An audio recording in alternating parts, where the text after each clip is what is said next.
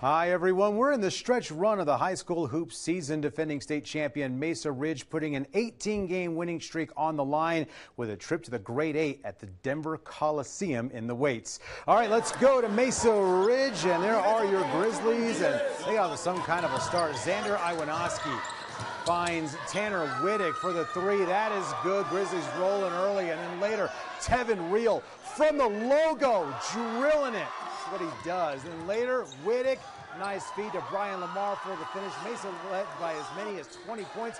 Second half, Green Mountain within nine. Real, another deep three. He had 24 points. Then later, his brother, Bryce Real, drilling the three and the foul. He finished the game with 14. But Green Mountain would close the gap. They get to within a point on this basket with about two minutes to play, but the Grizzlies know how to handle the pressure.